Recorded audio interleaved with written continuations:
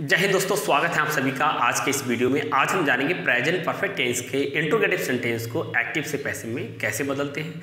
तो बिना आपका समय खराब किए हुए, आइए समझते हैं। Has he use my pen सबसे पहले इसको पहचानेंगे। देखिए, यहाँ पर हैज़ लगा है। वर्ब की थर्ड फार्म लगी है।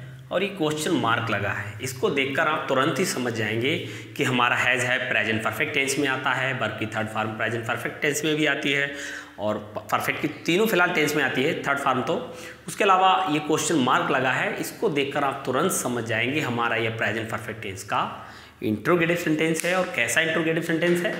यस्नो टाइप है। क्योंकि जिनके शुरू में एच लग कर आती है, वो हमारे यस्नो टाइप इंट्रोगेटिव सेंटेंस होते हैं जिनका उत्तर हम या तो हाँ में देते हैं या ना में देते हैं। इसका पैसिव हम कैसे बनाएँगे?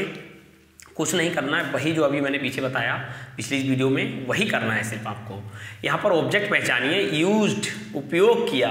किसका उपयोग किया? माई पेन मेरी कलम का। तो ये माई पेन यहाँ पर ऑब्जेक्ट है। इसको उठाकर आपको ले आना है ही की जगह पर। और ही को पहुँचा देना है आपको माई पेन की जगह पर। बस कोई और नई चीज़ नहीं है। तो यहाँ पर ही ही के हिसाब से एच बी हैज़ लगी थी, क्योंकि ही सिंगुलर है, और माई पेन जब ही की जगह पर आएगा तो माई पेन भी तो सिंगुलर ही है। तो उसके हिसाब से भी हमें एच बी हैज़ ही यहाँ पर रखना है। उसके बाद ऑब्जेक्ट का सब्जेक्ट यानी माई पेन का हमने सब्जेक्ट बना दिया। फिर जो एच बी यहाँ पर स्टेंस में जब पैसे बनाते हैं तो एच बी पूरी एच बी जो है, होती है, वो होती है हमारी हैज़ बीन और हैव बीन हैज़ बीन लगती है हमारी सिंगुलर के साथ, और हैव बीन लगती है प्लूरल के साथ। तो प्रश्नवाचक क्या होता है कि जो मेन एचवी का शब्द है, वो उठकर आ जाता है शुरू में और बचा हुआ हिस्सा रह जाता है सब्जेक्ट के बाद। तो वो बाद में लगा देंगे। उसके बाद वर्ब की थर्ड फॉर्म यूज़ उसके बाद बाय लगा देंगे और बाय लगाकर जो सब्जेक्ट ही है, वो हम कहाँ पहुँचा देंगे? ऑब्जेक्ट में पहुँचा देंगे। तो ही का ऑब्जेक्ट हिम होता है। आई होप आपको समझ में आ गया होगा। हमारा सेंटेंस बन गया। Has my pen been use by him कितना ईजी है, बहुत ही आसान है। बस इस सूत्र को फॉलो करते चले आइए, बाकी अपने आप बन जाएगा। पहले जो यहाँ पर आप ऑब्जेक्ट सब्जेक्ट बनाएँगे, उसके हिसाब से हैज़ है में इसको एक लगा देना है। फिर उस ऑब्जेक्ट को आपने सब्जेक्ट बना दिया, फिर बचा हुआ एच बी का हिस्सा बीन फिर वर्ब की थर्ड फॉर्म फिर बाय लगाकर जो सब्जेक्ट था, उसका आपने ऑब्जेक्ट बना दिया। कुछ नहीं है, बस इन दो शब्दों का आदान प्रदान होता है। बाकी जो सेंटेंस का ऑर्डर जो एक्टिव में होता है, वही ऑर्डर पैसे में होता है। यानी कर्ता क्रियाक्रम का ऑर्डर चेंज नहीं होता है। इस बात को आप ध्यान रखिए। इसके डब्ल्यू एच टाइप को समझते हैं। Where have you found these books सबसे पहले पहचानेंगे। देखिए यहाँ पर डब्ल्यू एच यानी क्वेश्चन वर्ड भी लगा है हैव लगा है वर्ब की थर्ड फॉर्म और क्वेश्चन मार्क इतना बहुत है पहचानने के लिए। इतने में ही आप पहचान लेंगे। हमारा ये प्रेजेंट परफेक्ट टेंस का इंट्रोगेटिव सेंटेंस है और कैसा सेंटेंस है? एक्टिव है और डब्ल्यू एच टाइप है। इसका पैसिव कैसे बनाएँगे? जो क्वेश्चन वर्ड जहाँ पर पर है, वो वहीं पर रहेगा। एच बी जहाँ पर है, वो वहीं पर रहेगी। पहले यहाँ पर जो सब्जेक्ट यू है, उसके हिसाब से एच बी लगी थी। अब अब फाउंड फाउंड मतलब मिल गई है। क्या मिल गई है? दीज बुक्स ये किताबें।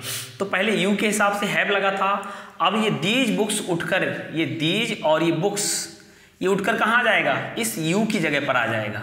समझ गए आप? ये दीज बुक्स उठकर आ जाएगा यू की जगह पर। तो यू के हिसाब से एच बी हैव था, और दीज बुक्स भी तो हमारा बहुवचन है तो उसके हिसाब से भी एच बी हमारा है भी रहेगा। उसके बाद ऑब्जेक्ट का सब्जेक्ट तो ऑब्जेक्ट हमारा है दीज बुक्स उसके बाद एच बी का बचा हुआ हिस्सा बीन दो वर्ड की अगर एच बी है तो जो मेन वर्ड है वो सब्जेक्ट के इस तरफ़, और बचा हुआ एच बी का हिस्सा इस तरफ़। और नॉट आ जाता है, उसको यहाँ पर लगाना है, ठीक है? उसके बाद वर्क की थर्ड फार्म तो वर्क की थर्ड फार्म तो इस टेंस में कोई कन्फ्यूज़न ही नहीं है, वो थर्ड फार्म वहाँ लिखी ही है फाइन फाउंड उसके बाद बाय लगा देना है। और उसके बाद जो सब्जेक्ट यू है, उसको ले जाना है आपको इस दीज बुक्स की जगह पर।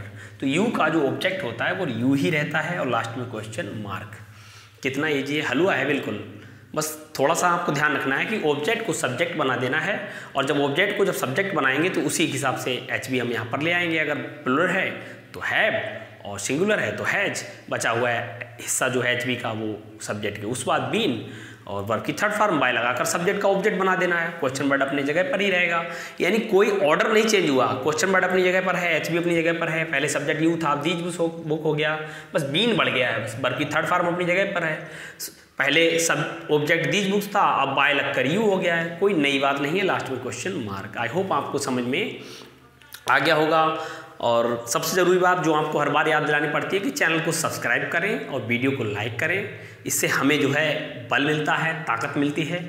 और आप लोग ऐसे ही अगर हमारे चैनल के साथ जुड़े रहेंगे तो हम आपके लिए ऐसी नई सी नई वीडियो लाते रहेंगे। आई होप आज की वीडियो आपको अच्छी लगी होगी।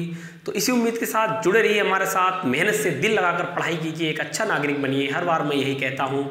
और अपने माँ बाप और देश का नाम रोशन कीजिए। मिलते हैं अगली वीडियो में। तब तक के लिए बाय बाय जय हिंद।